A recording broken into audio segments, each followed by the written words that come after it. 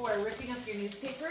Newspaper works great because it's really easy to make into strips. And ideally you want these strips one to two inches wide. So you want to rip, like this, you want to rip from top to bottom. You see how nice that is? Now watch what happens if I try to rip it this way. Ugh. If I try to rip it towards horizontally, it doesn't want to tear that way. It wants to tear vertically, so from top to bottom.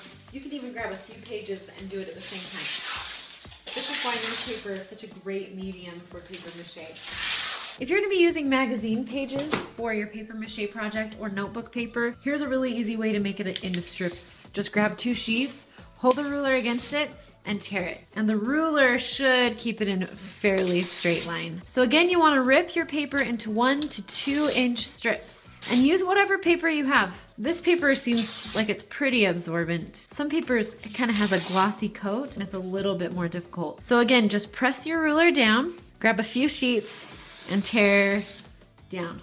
You're kind of lifting up and away. This can save you a lot of time. So I hope you enjoyed that tip tear up enough paper for you to use. And again, if you're using a notebook, let's pretend this is like my math homework. Start at the edge and move towards the center.